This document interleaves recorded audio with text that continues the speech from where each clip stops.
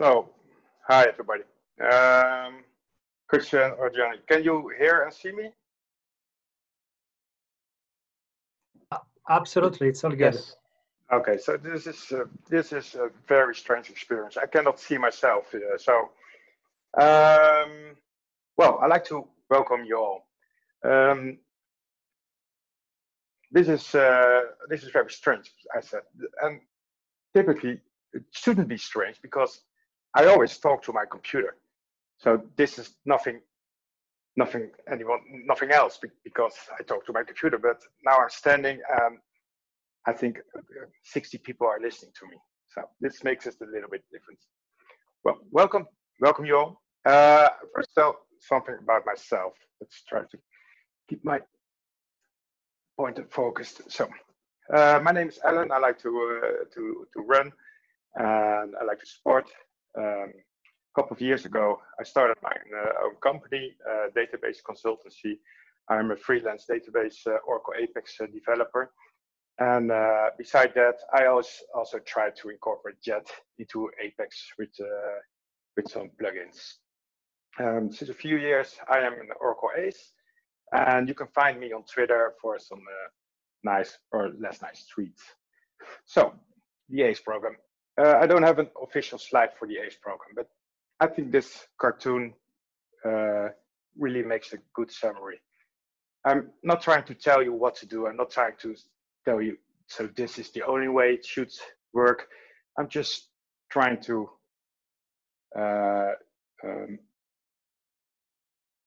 show you some way of solving problems and that uh, instead of convincing you.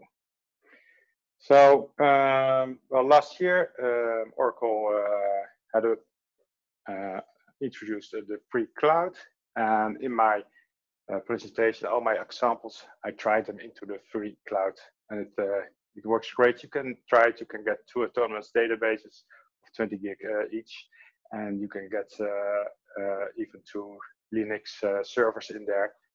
So I used it for this presentation.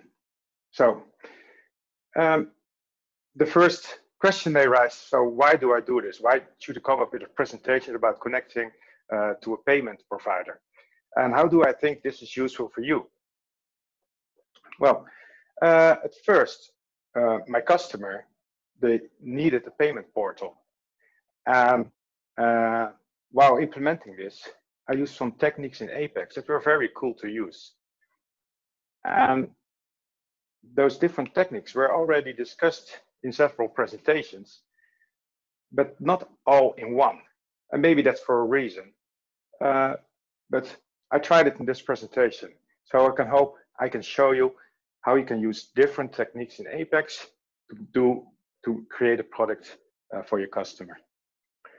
So the first thing you have to do have to do is find a service provider which suits your needs.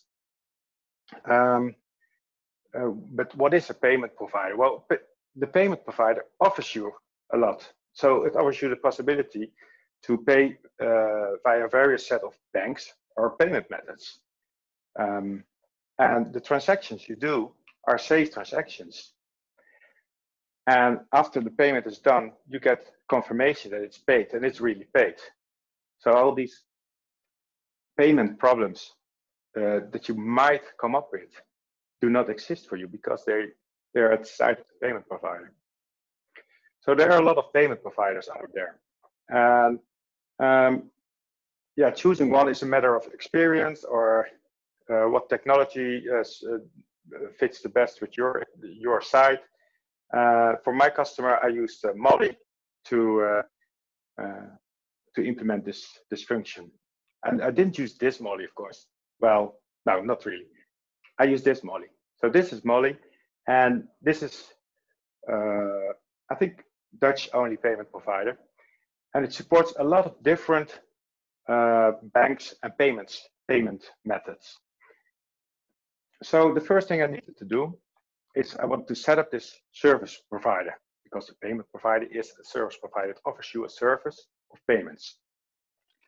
And this setup is, um, is not like logging in and creating an account. It's more than that. It's in fact a very important step because in this step, you will need to uh, set some defaults for your payment. You need to set your uh, address, your, your, your, phone number, of course, your website details, and you need to set some payment methods. So would you like to pay with iDEAL or uh, with a credit card or maybe with Apple Pay or PayPal? So you can all set it up in here over here. And Mollie verifies if all these payments are possible for your account. And during this payment process, you also always be redirected to this payment site to do the actual payment. And in Mollie, you can set up uh, a nice background and you can uh, change the site a little bit so it looks more like your own website. Um, so you can all set this up before you really start. So this is all the beginning. So after you set up Mollie, it can take a few days before it's enabled because Mollie double checks all your uh, details because it's financial stuff. It's it's really important, of course. So while Mollie does that, you can start reading the manual. And luckily for you, I already did this. So after reading the fine manual, uh, you see there's a lot of information on how to use their APIs. And it's not just one API, it's a lot of APIs. And for this presentation, I would like to use the list payments API because it's a simple example. Uh, you just want to get more information on what payments currently uh, are in your system. Uh, so what I said, there are a lot of APIs out there. And for this list payment, I will use the payment API. So I went into the documentation, I read it, it was a lot, and I came up with uh, two methods I will use. One method is the create payment, and one other method is the list payment. And we, we're starting with the list payment, and after that we do the create payment. Sounds a little bit strange. And that I find out, found out after my first test, because you want to list the payment, and there are no, uh, no payments, you cannot create a payment because you don't know how to do it.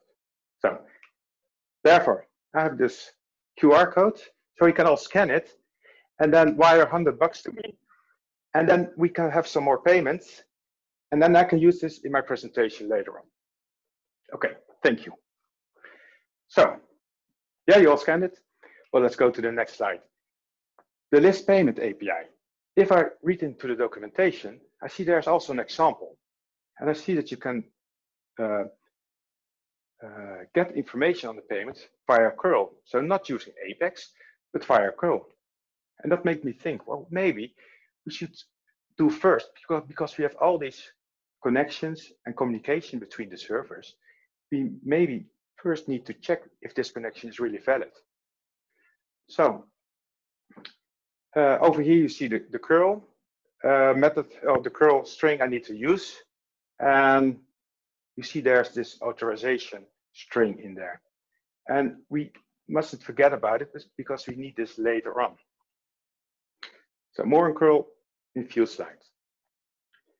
So what I also saw in the documentation is that this curl statement, this list uh, payment statement, will return something. It will it will return a JSON, and that JSON is also uh, uh, nicely uh, put out in the documentation. So you not only have the, the method, post method, but also the, the returner. And that's very uh, useful if you want to create this yourself in Apex. So let's first test if our connection works uh, before we start uh, using it in Apex. So this is the curl statement. So curl is the program, it's a program you, you use to do HTTP uh, calls. And the protocol we use is the get. So we do a get, that we get information from the server, from the Mollie server. And this is the Mollie server. This is the endpoint we are talking with. And as I said before, there's this kind of header variable with an authorization bearer in it. So this authorization bearer, this has something great out. And this, uh, this is the API key. So in your settings, you can set up an API key. You can set up two API keys, one for the live, for your production environment, and one for your test environment. So you can switch with API keys between the live environment and the test environment. You can also easily reset them if you think they're compromised.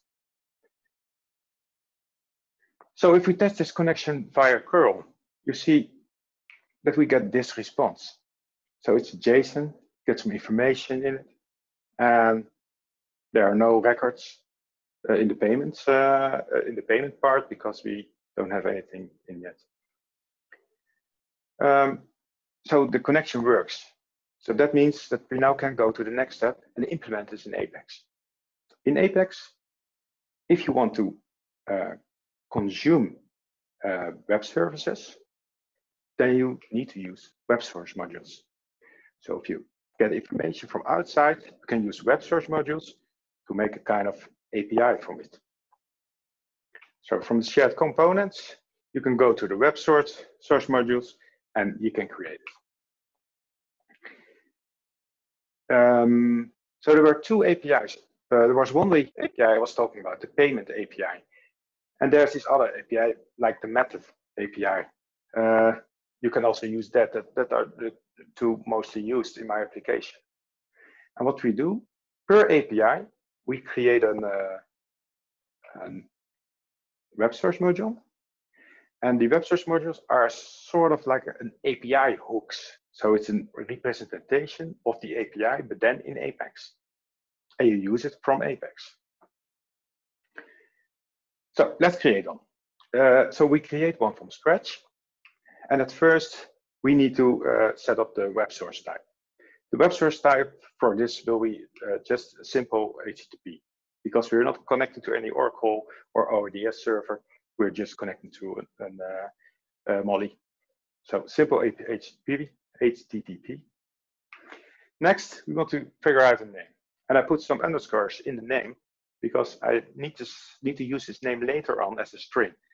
And if I use it as a string, it's more like like this a constant, and constants, you know, don't have a meaning for like the words. It's just one constant, and it just it, I should have used capital uh, either. I think.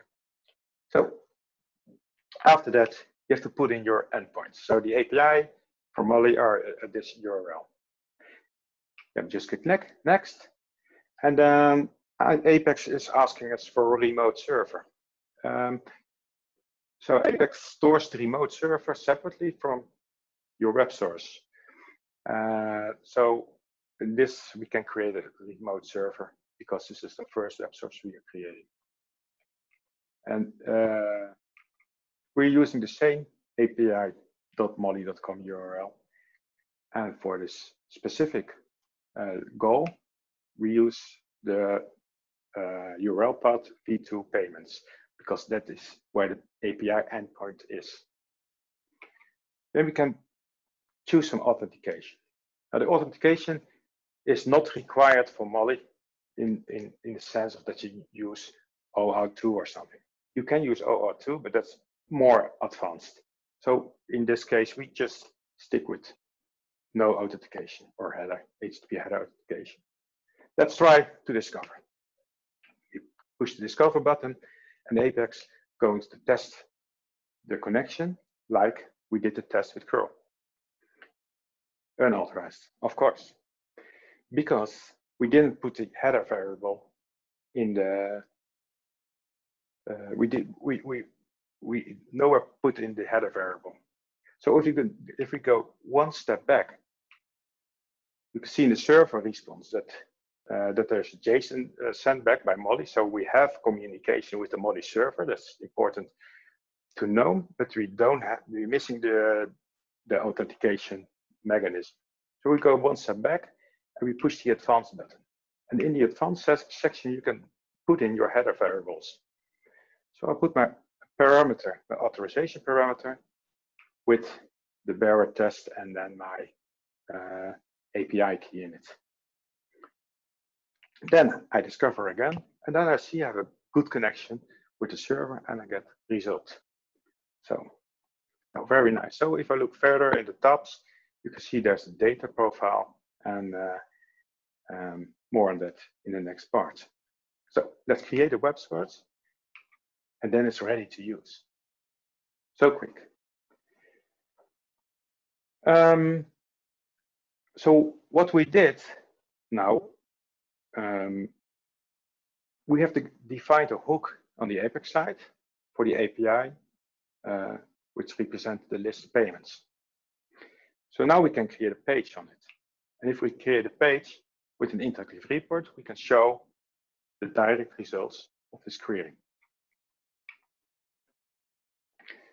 So, well, let's fill it in. The page name is payments. Uh, I want to set up a navigation menu. Uh, I call it payments too. And then I'm at the part that I create an interactive report on my new page. Uh, what I do, I choose the source, web source for the payments. So usually you use the local database. Now I use the web source. And then in the list, I choose my web source module. Then I can select the columns, like if you would want to choose the columns that you use from a, from a local database uh, resource. And then we create the interactive report is created.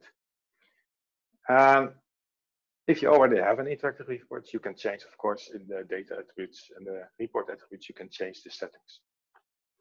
So if I run the page, I get one row and, uh, and there's no data yet. So the auto discovery, uh, they didn't find the right columns because I want to see my data. I don't want to see like a global row. So let's see what we can do about this. You can you see that there's no data because it's at zero. So let's go back to the to the web source configuration. Um, over there, you can push the Edit Data Profile button. And with the Edit Data Profile, you can choose which columns you want to use. So now, if you look at the current data, uh, the, the current columns, you will see that it says count, next, href, type, previous. So it's more like a global level. And it, this was when I had no data. So if I run this discover on a different uh, at a different customer where I already have data, I can use a recover, uh, rediscover data profile. And I see that there are a lot of more columns involved.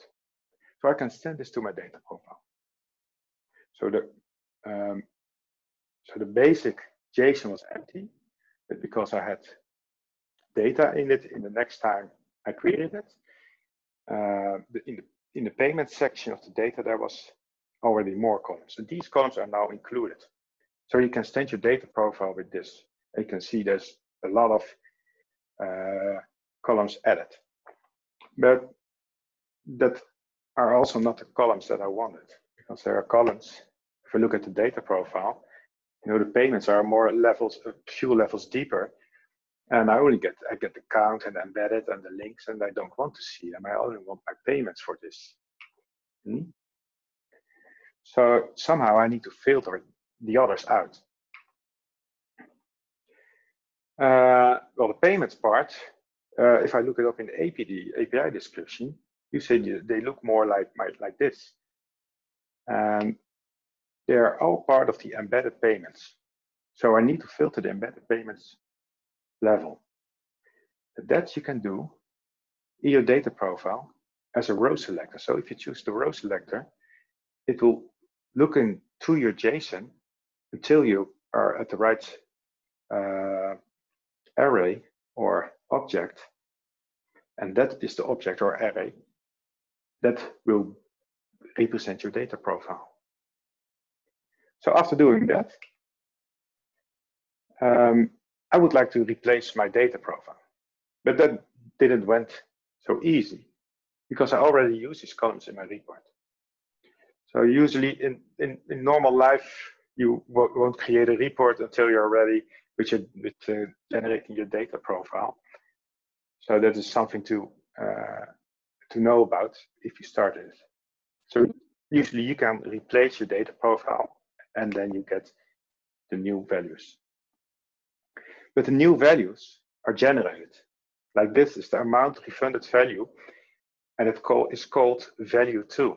And this is not really a nice name for me that I want to show up as a column in my report. So I want to rename them and I also want to resequence them so it looks more natural. So after doing that, the end result looks like this. And you see that it, it, it looks more, uh, yeah, it looks better, I think. Like value is called refunded amount and another value is count remaining amount. So you can't really know what is in. So the wizard did a good job, but not completely. You have to uh, do some extra work for it. So, and if we now go back to the page, uh, oh, there's one more thing. So if you not did not changed column, but only added columns, you can use a synchronized column button, and then your report automatically get extended with the other columns. So if I refresh the page, now you see I will get all the results from the payments uh, array. So now we can do, we can list the payments. Maybe we can now start creating a payment. So I went back to the API and started reading again. How to create my payment. So I didn't want to now first know on, on how the message look like, but more on how the payment works because it's it's more like um, a flow where you uh, where you are going into if you do a payment. And the flow look, looks like this. So you have this customer, just go to, to your web shop, and it clicks the button, uh, I would like to pay. And at that moment, you, as your web shop, need to create a payment at the Mollie. You uh, redirect your client to the Mollie to the to the Mollie website, and there the client can pay. During this payment process, Mollie will call your webhook. And your webhook retrieves the payment status. And after that, the payment is done and you can Mollie redirects your, your the, the client back to your site. And after that, you have a happy customer. But what does Mollie over there? It calls your webhook. So what is a webhook? So I think the best way to explain what a webhook is is by a fragment of uh, Shrek. So after the marriage of Shrek and the princess, the newlyweds were invited to the castle for, for the royal ball. And during the long travel to the castle, Donkey continuously asked, are we there yet? Are we there yet? Are we there yet? So Shrek was very agitated and the situation wasn't getting better. And as always between those two, it went into a fight. So wouldn't it be better if there was this nice meadow, meadow and Donkey was asleep. And when they arrive, Shrek just had to wake him up and say, hey, we are there. Much nicer, huh? So we're talking about pushing and pulling. Hmm? So if I read it up in the documentation, it says this, webhooks are used to process real-time data updates, for example, when a payment is paid. It's a URL Mollie will call with the ID of the object. And when Mollie calls your webhook, you should fetch the latest status and process it, process it if the status was changed. So these are the instructions Mollie gives you for your webhook. Okay, so what does the documentation say more about webhooks? Well, what we can see over here is in this example that Mollie uses a post to call your webhook. And Mollie uses a HTTP variable with the ID. This information, with this information, we can create a webhook. Usually, if you use a post, you want to create something and the server returns the 201. With a get, you want to select information and the server responds with 200. And the same with put, patch, and delete. The server will return 200. But for webhooks, we typically use post just to say, hey, there is some new information for you. Do something with it. And we're not creating something. So with webhooks, we're not returning a 201, but Mollie expects a 200. So that is mm-hmm. something that we need to change in our process. So if you look now a little bit closer to this webhook communication, Mollie calls your webhook. We retrieve the payment status, and then Mollie goes on. And we not only retrieve the status, we only look up the ID in a database if it exists, and then we retrieve the new status, and then we can update it. That wouldn't be more easier if we, Mollie just says, hey, the new status for this ID is blah, blah, blah. Yeah, it will be easier, especially for the ones that want to update the status and that are not allowed to change the status. So this is not safe. Anyone can send you this message. So the whole idea is that Mollie calls your webhook, we look it up, we make sure it's safe, we make sure this exists, and we make sure we expect this status to change. And then we retrieve the new payment status, and then we can go on. And that is secure. Okay, so Mollie calls us. That means that Mollie consumes services at our place. We need to expect some information, uh, some calls from outside the database. And for that, you need RESTful services in Apex. So at first, you may notice if you start with RESTful services that your scheme is not registered with or registered with ORDS. So we have to enable it first. From in Apex, you can do this with the uh, register scheme with ORDS button. You go to a small wizard, you can set up some information. And what I recommend is you install the sample service because there's a lot of uh, nice examples and you can use it to test your service, your connection. And then you save your scheme. And then you have uh, REST services enabled for your scheme. What you can also do, you can script it. And I like this because you can use this more in your detail suite. And you can use this example, this uh, example for it. Okay, so now we set up the database for using ORDS. Let's first test it and make sure that it works, and not that we, if we create our own uh, web services, that when it doesn't work, um, at least know that the communication works. So let's go to the examples. We can copy this URL. And just it's a getter, it's a get, so we can just paste it in a browser. And if we paste it in the browser, we get this as a result in the browser window. So the connection works with the database ORDS set up uh, correctly. So now what we're going to do, we're going to create our own service. We can do it from the from the from the browser, but we also can do it from PL/SQL. And if we do it from PL/SQL, now, well, let's make sure the scheme is enabled. Then we can define a, a, uh, a module. Uh, the module is something we get, gather our templates. So Mollie, this is the module Mollie. And in this module Mollie, we have different templates, but we now make a template called empinfo. But because we don't want to change much, we just want to get some information to see that, uh, that we can safely create a module.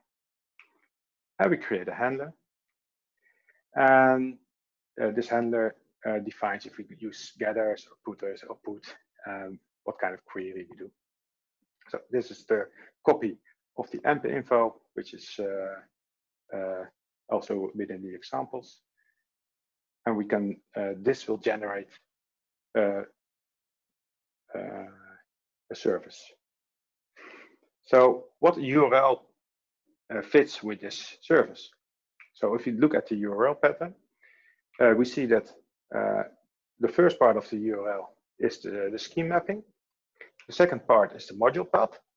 And the last is the template pattern. So if we go to this URL, we should get employee information. And that worked also immediately. So great. So now the connection works. Connection, we can make our own services. Let's now create a webhook.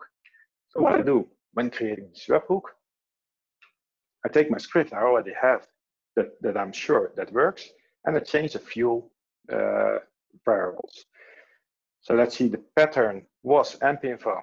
I call it webhook, and we need to do something in the handler because we don't want to uh, select information. So we create a pattern. The method will be in post, and the source type will, will be call because I want to call my own package from out here. And what I do for this demonstration, I only log the body text of the of the post. So how can I test this? Because usually a getter, you can just put in your URL and then you will see it. Now, well, there are many API testers out there. You can just pick one and uh, fill in the information. So you fill in your endpoint URL, uh, you make sure that this is a post, and there was this ID that you can send with it. And if you look at the response headers on this page, you will see that it returns to 200 okay, and that is what Mollie expecting. So very nice.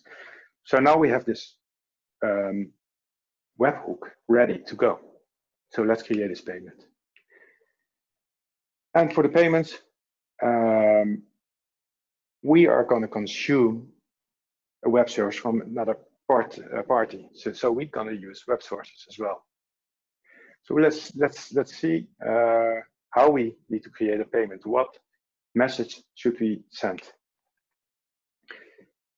And there's another example in the documentation. So it's, it's very nice how it's documented and you can just read through it and, uh, and go on.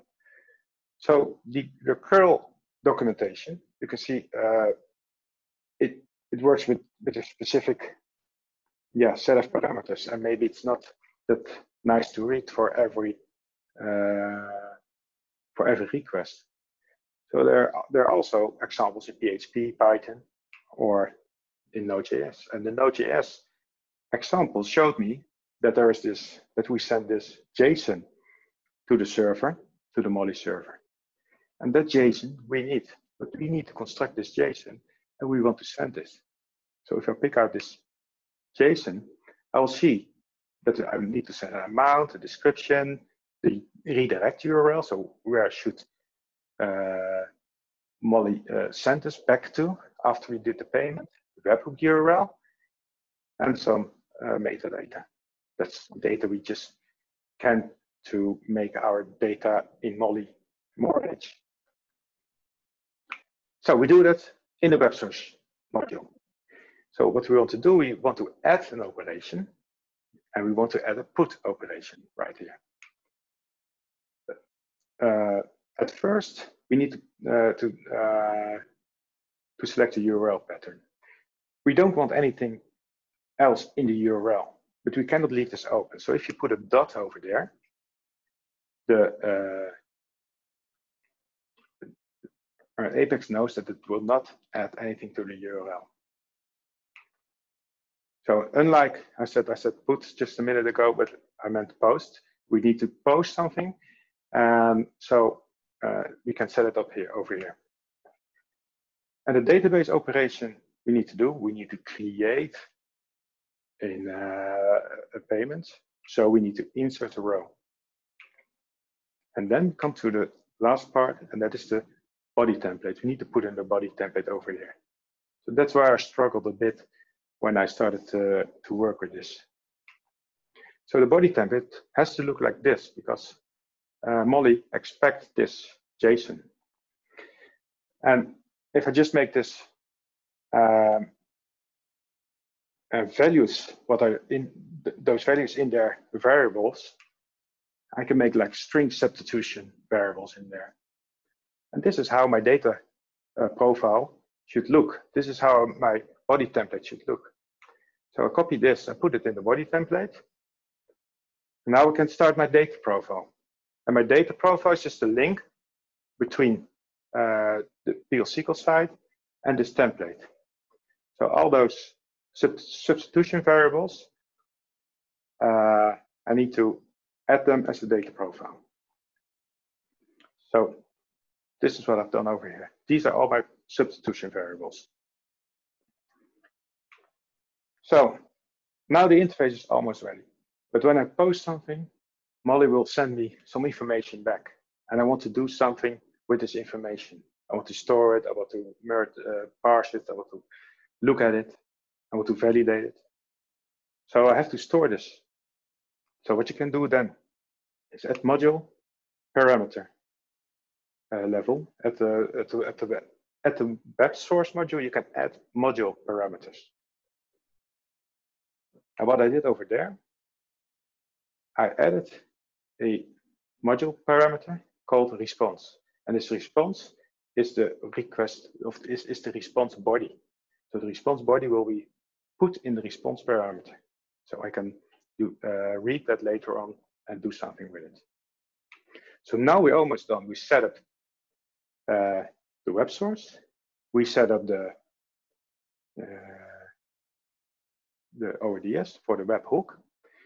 Now we need to make sure that we can create it and we can call it. And that's where we can use uh, PL/SQL. So I created my own package where I put all the functions in that I use.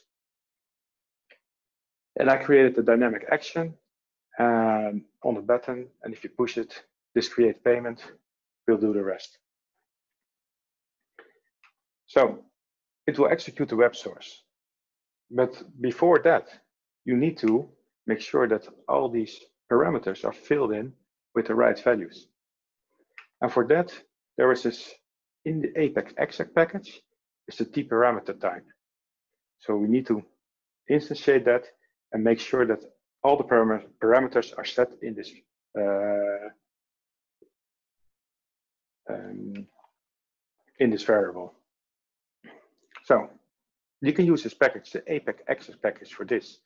So just use the Apex exec dot add parameter, and you can add all the parameters. And while you're adding the parameters, you can put in this, you can put in the uh, the variables in it as a parameter.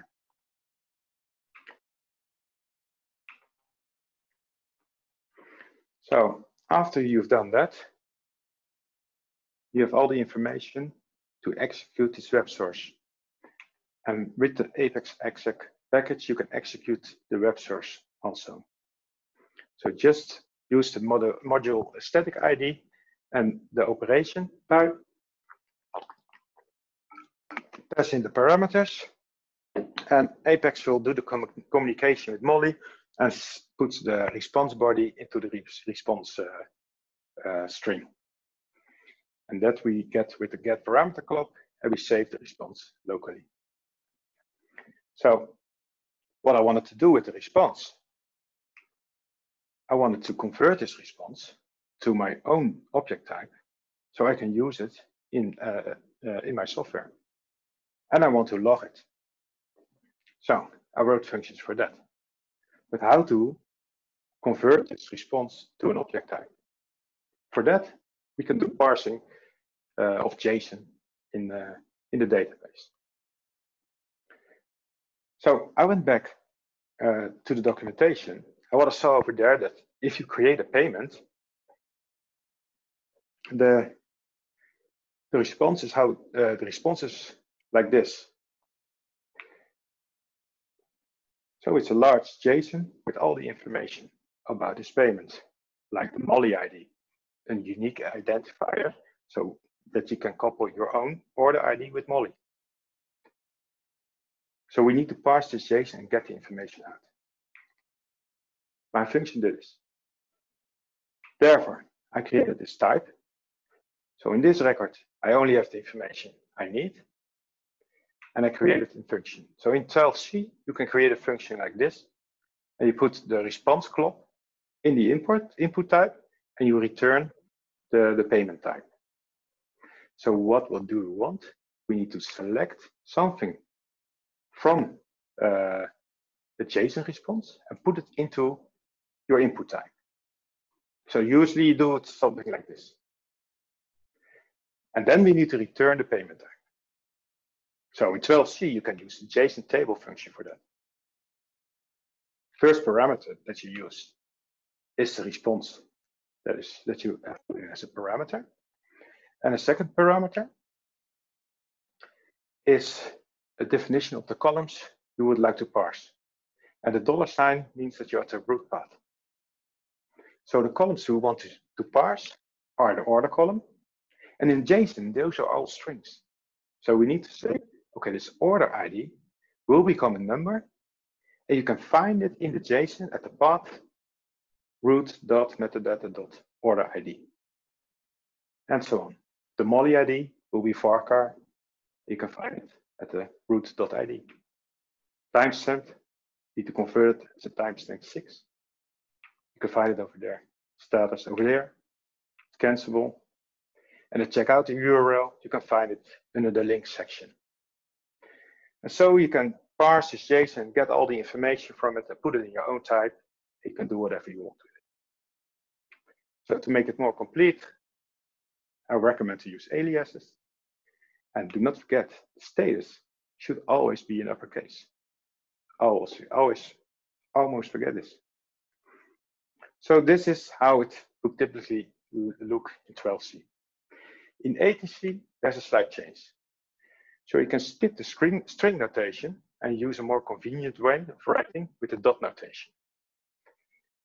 Except for the last one, because there's an underscore in there, and you cannot use that with a string with the dot notation.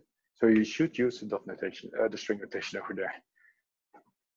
So as a summary, what did we do?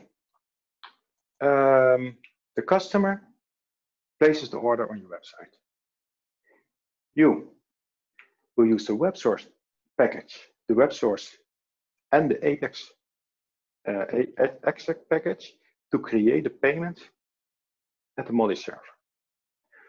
Mollie, uh, you will redirect the customer to Mollie, to the site, and Mollie will handle the payment. After the customer had paid, Mollie will call you webhook. And we made it using ORDS RESTful services. You, again, check if the ID exists and retrieve the newest, newest status using a web source and the Apex exec package. We didn't make it, uh, create it, created it in this presentation, but it will go on the same way. After that, Mollie redirects the customer back to your site, and we have a happy customer. So what did we do more? Like we used web sources for using, for consuming external services. We used the Apex exec package to call those web sources. We use ORDS uh, to host a service which can be consumed by Mollie for the webhook. Then we use JSON in the database to parse the messages. And we tried it all. You can try it all in free cloud. So Mollie is very extensive. You can go, this was a very simple example of Mollie. You can do store your orders and lots of information there. This is just a small part.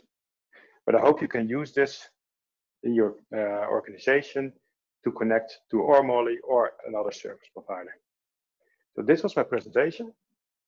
So I'm very glad that there were at least as at least 60 people online. So uh, I hope to see you soon uh, in good health in real life. Uh, and I think I need to ask answer some questions right now. Uh, let's see how that.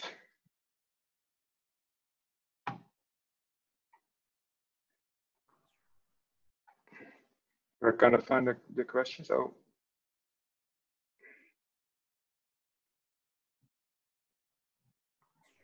So there is one question, Alan, for you.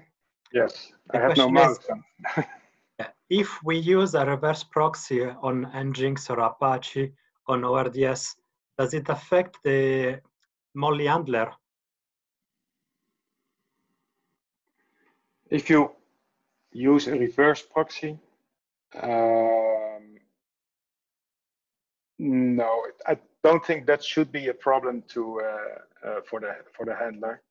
Um, I don't know if you have to add specific parameters to Apache or to Nginx. Um, I cannot think of any big problems for that, but shouldn't be a problem.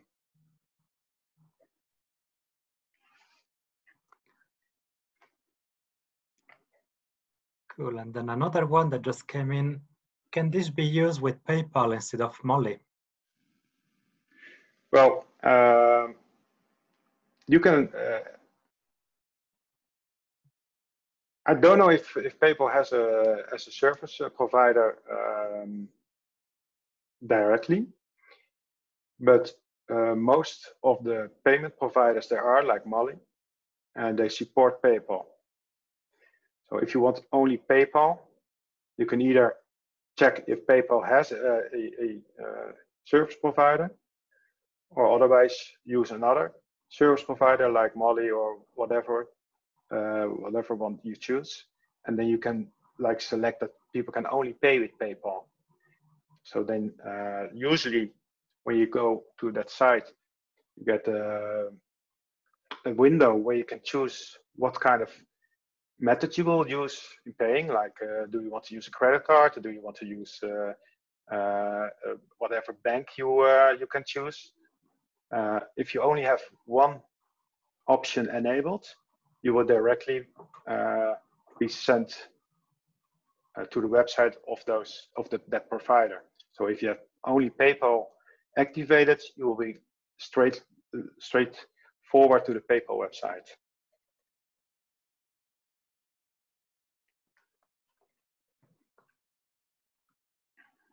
So it looks like people are uh, still processing the information. so thank you a lot, Alan, for your uh, presentation. Well, thank you for the opportunity.